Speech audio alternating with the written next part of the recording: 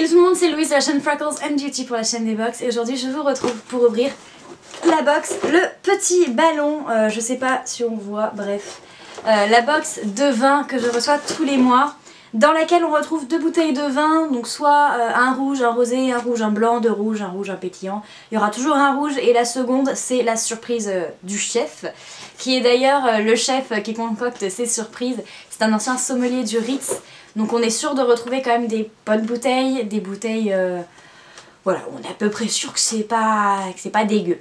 Voilà, bref, on va entamer tout de suite euh, cette édition de septembre. Alors comment ça se présente Comme tous les mois, le colis se présente comme ça.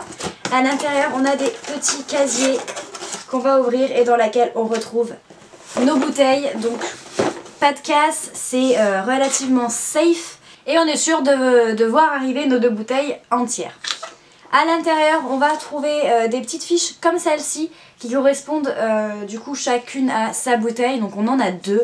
Ce sont les fiches de dégustation où on va retrouver à chaque fois la même chose. On va retrouver euh, des petits adjectifs qui peuvent décrire un vin et du coup noter selon ce vin-ci. Jean-Michel Deluc, du coup le fameux sommelier, son avis sur le vin. En petit un petit euh, paragraphe sur le domaine d'où vient le vin. Derrière, on a une petite rubrique côté fourchette avec tous les plats qui peuvent s'accorder avec le vin en question, les détails du vin comme le cépage, le pourcentage d'alcool, et enfin tout ce qu'on est censé retrouver en dégustation à l'œil, au nez et au goût. Donc on y jettera un rapide coup d'œil euh, voilà, sur chacune et chacune des bouteilles. On retrouve également euh, la gazette du petit ballon. Donc qui retrouve sa forme normale, effectivement le tour, euh, tour de France des vins c'était juste cet été. Euh, on retrouve notre gazette mm, classique. À l'intérieur on a des recettes, donc ça c'est très cool. Des recettes du coup à déguster avec un vin tendre, à déguster avec un vin délicat. voilà un petit, un petit dossier sur le chili, les chiffres du vin, le métier, alors les métiers du coup du vin, le vigneron, le nologue, le sommelier. Je crois qu'on avait déjà eu ce dossier là. Et ensuite en début, voilà. Ça c'est quelque chose qui m'avait manqué cet été dans la gazette parce que j'ai pas gardé euh, les anciennes. C'est les petits descriptifs des vins, les labels, l'anti-sèche du petit ballon. Pour les rouges, ils en ont 5. C'est les tendres, les canailles, les charnus, les robustes et les rétros. Donc ils ont chacun leur intensité de force, euh, chacun leurs petits accords euh, avec quoi les manger, donc plutôt de la viande, de la charcuterie. Et par exemple les tendres ils vont être en général fruités légers, les canailles fruités veloutés, les charnus, euh, charnus épicés, et pareil sur les blancs.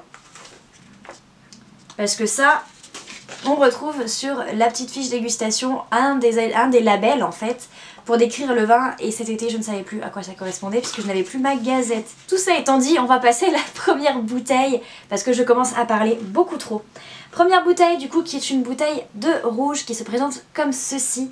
C'est la Belle Grâce. C'est un côte de brouillis cru du Beaujolais qui date de 2017. Je crois que côte de brouillis ça va être le domaine, il me semble même derrière l'étiquette, on a des, petits, euh, petites indications vin fruité au tanin soyeux, souple, frais et friand avec une note acidulée de groseille.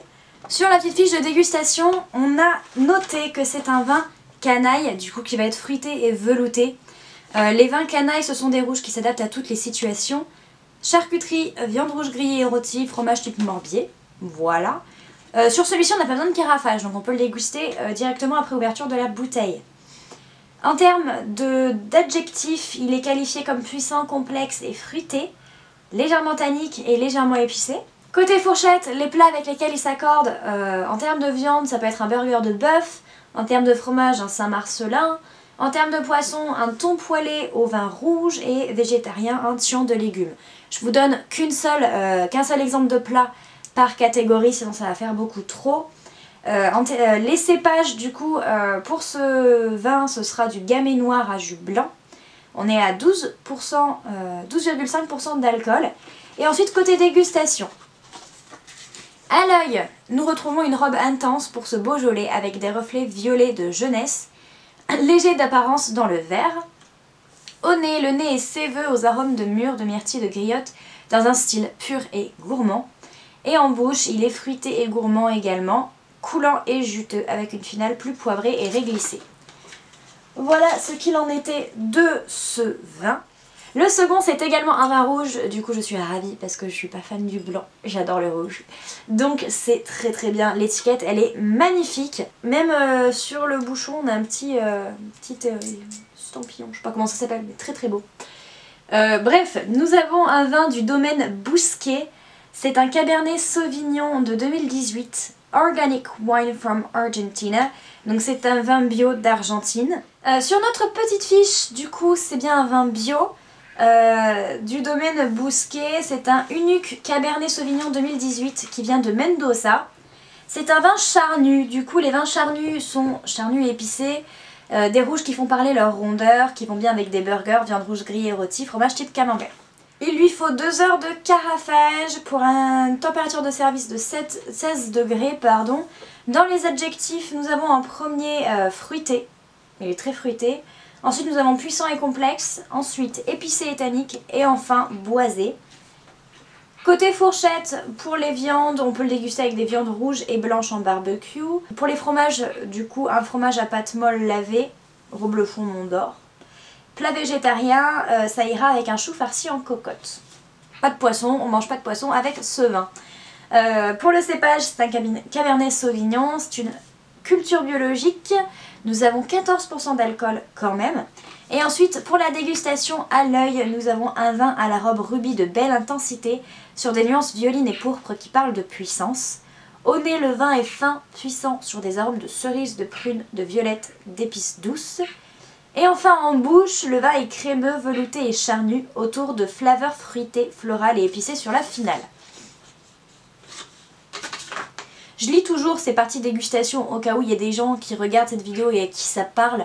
Au moins ils, ils arrivent à, cibler un petit peu le vin. On avait un autre petit euh, prospectus dans notre colis ce mois-ci. La foire au vin du petit ballon du coup qui se déroule du 3 au 30 septembre. Euh, on a gardé les meilleurs vins parmi les milliers dégustés. Et là du coup ça nous présente tous les vins qu'on peut trouver euh, du coup sur le site pendant la foire au vin. Donc les bio, les rosés, les rouges, les bourgognes, les classiques, etc. Donc ça c'est assez sympa, j'y jetterai un petit coup d'œil. Voilà, c'était tout pour cette box. J'espère que la vidéo vous aura plu, que la box aura piqué votre curiosité. Si jamais vous êtes intéressé, sachez qu'il y a plusieurs formules. Euh, une formule classique, celle que je reçois, une formule bio et une formule grand cru au prix, me semble-t-il, de... Euh, 20, 22 et 40 euros par mois à peu près. Je vous laisse toutes les infos en barre d'infos, n'hésitez pas à aller y jeter un coup d'œil. Moi sur ce je vous faire plein de gros bisous et je vous dis à très très bientôt sur la chaîne des box. Salut